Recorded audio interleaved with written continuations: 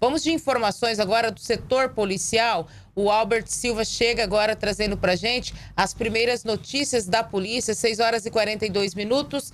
Albert Silva, Polícia Militar trabalhando bastante, combatendo o tráfico de drogas aqui na cidade, hein? Bom dia para você.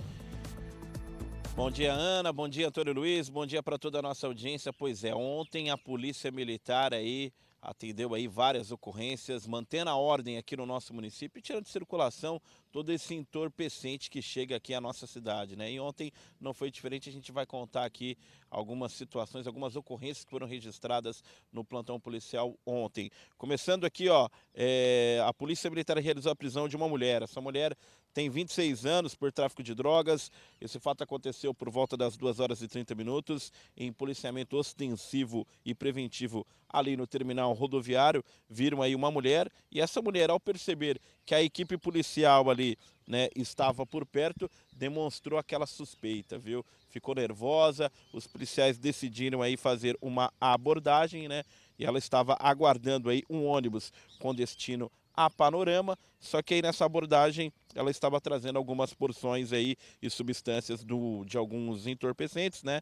E ela teria adquirido esse entorpecente aqui entre as Lagoas, no bairro Jardim Alvorada.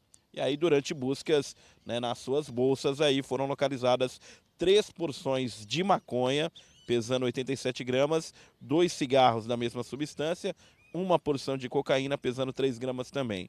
É, foi dado voz de prisão, foi realizado aí a condução e também a apresentação dela na delegacia, ficando à disposição da justiça. Portanto, aí essa mulher né, de 26 anos é, foi presa aqui no terminal rodoviário aqui em Três Lagoas. E a gente continuando com as ocorrências aí das últimas 24 horas, porque a polícia também registrou na manhã de ontem por volta das 10 horas da noite. Olha só que audácia, viu?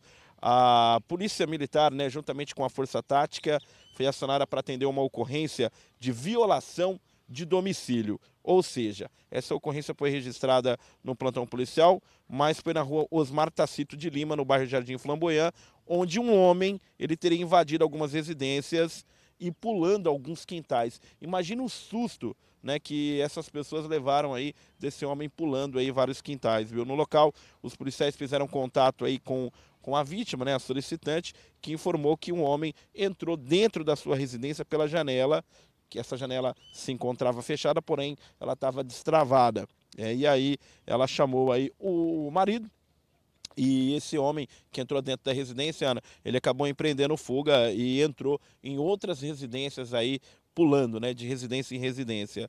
E aí, diante das informações, realizaram aí é, vistoria em alguns imóveis, né, próximo, e aí acharam, viu? Acharam esse homem. Durante a identificação, em consulta no sistema policial, constou um mandado de prisão em seu desfavor. Já era conhecido aí pela polícia, portanto, ficou à disposição da justiça. Olha só, você imagina, viu? Você está em casa, de repente alguém entra dentro do seu quintal e aí ele vai pulando de quintal em quintal, invasão de domicílio, mas esse aí já tiraram ele de circulação, agora segue à disposição da justiça, né, Cristina?